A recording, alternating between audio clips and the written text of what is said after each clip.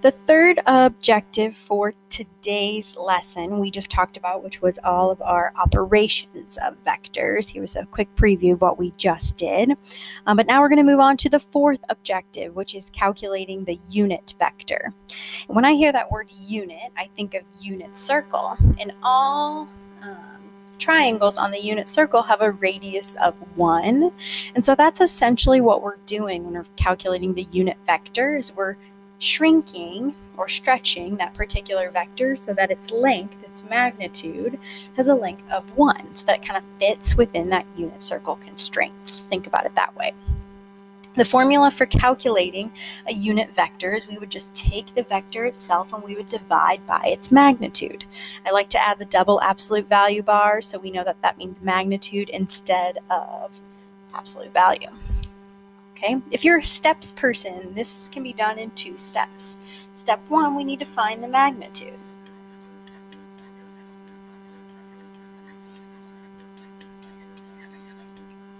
And we'll take that original vector that we have, 2, negative 5, and when we calculate the magnitude of that vector, we are going to take each component and square it, add them together, and then square root. So we end up with 4 plus 25 underneath our radical, which is the square root of 29. Cannot be reduced, so step one is complete. Step two, we're going to divide the vector by its magnitude.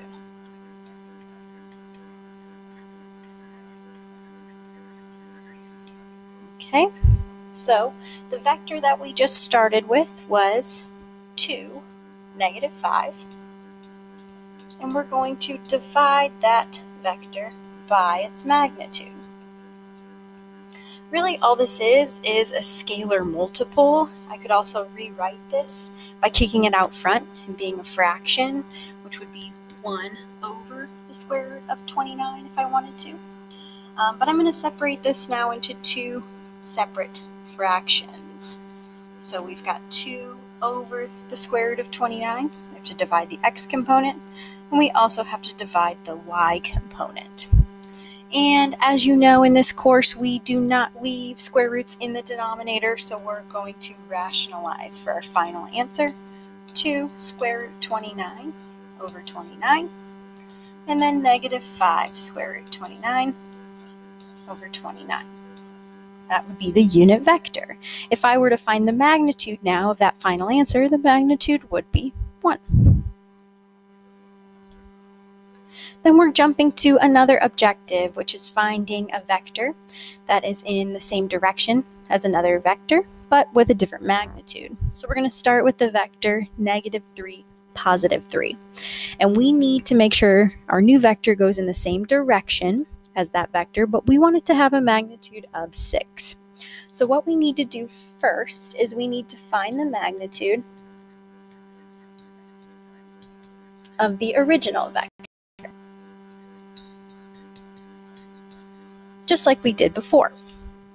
So we'll do that by taking vector A, calculating its magnitude.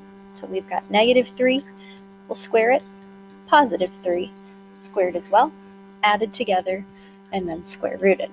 So we get 9 plus 9, which is the square root of 18.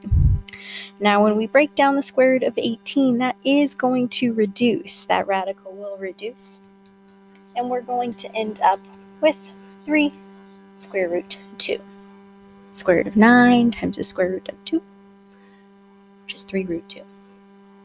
Next step would be to find the unit vector. And we did that by taking the original vector and dividing it by its magnitude. So our original vector, 3 negative 3, positive 3, we're going to divide now by this new magnitude. Okay, and then we would need to break this apart into two kind of separate components, dividing both the x and the y's.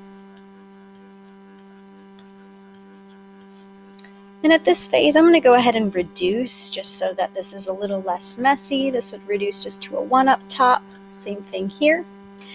And so what I have so far would be negative 1 over the square root of 2 and positive 1.